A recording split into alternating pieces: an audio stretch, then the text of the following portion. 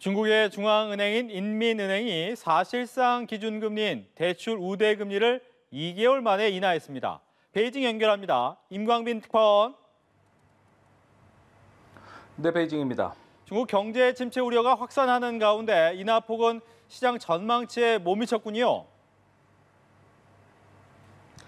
네, 중국 인민은행이요. 사실상의 기준금리인 1년 만기 대출 우대금리 LPR을 연 3.45%로 0.1%포인트 인하한다고 발표를 했습니다.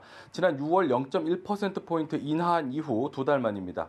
유동성 공급을 위해서 0.15%포인트 인하할 것이라는 시장의 전망치보다는 낮은 수치입니다. 주택담보대출 같은 장기금리의 기준이 되는 5년 만기 LPR은 연 4.2%로 종전금리를 유지했습니다.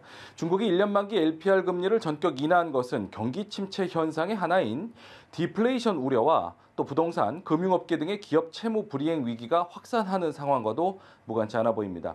중국에서는요, 최근 부동산 개발업체 비구이 위안의 채무 불이행 위기가 금융권으로 확산할 조짐을 보이고 있습니다.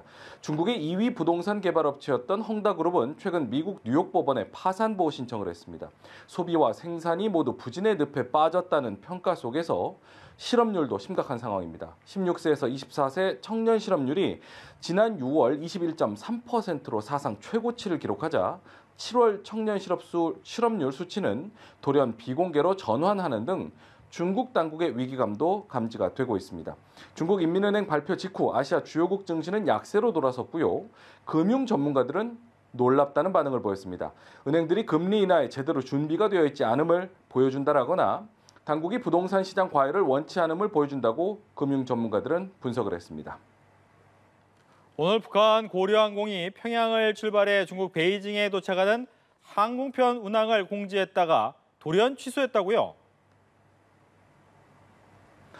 네, 베이징 서우드공항 제2터미널 전광판에는 오늘 오전 9시 50분 평양발 고려항공편이 도착할 것이라는 공지가 떴습니다.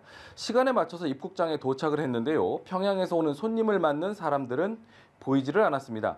예고한 시간이 지나고도 고려항공 비행기가 도착했다는 안내는 전광판에 뜨지 않았는데요. 공지한 시간을 2시간가량 넘긴 11시 50분쯤 붉은색으로 항공편이 취소됐다는 문구가 떴고요. 또 오후 1시 5분 평양으로 돌아가는 항공편도 뒤이어서 취소가 됐습니다. 항공편의 취소 사유는 알려지지 않았습니다. 일각에서는 평양에서 빈 비행기로 출발을 해서 베이징 북한 대사관에 머물고 있는 북한 주민들을 데려갈 수 있다는 관측이 나왔습니다. 북한 대사관 안에는 400여 명 정도 수용할 수 있는 기숙사 시설이 있는데 코로나19 발생으로 북한이 국경을 닫은 지난 2020년 1월 이후 귀국하지 못한 주민들로 포화 상태인 것으로 알려졌습니다. 지난 17일 북한 태권도 선수들이 야간 열차를 이용해서 베이징에 도착을 한 뒤에 곧장 항공편으로 태권도 세계선수권 대회가 열리는 카자흐스탄에 갔을 때도 북한 대사관 기숙사에 공간이 여의치 않았기 때문이라는 분석이 나왔습니다. 국경 봉쇄로 국제선 항공 운항을 중단했던 고려항공은 지난 2020년 그러니까 같은 해 2월과 올해 5월 홈페이지에 비행 일정을 공지한 바 있었지만 실제 운항하지는 않았습니다. 이런 가운데 최근 고려항공이 러시아 블라디보스토크행 운항을 재개할 수 있다는 전망이 나왔는데요. 이번에도 베이징으로 실제 운항으로 이어지지는 않았지만 북한이 국제선 항공편 운행을 조만간 재, 아, 본격화할 수 있다는 관측에 무게가 실리고 있습니다. 지금까지 베이징에서 전해드렸습니다.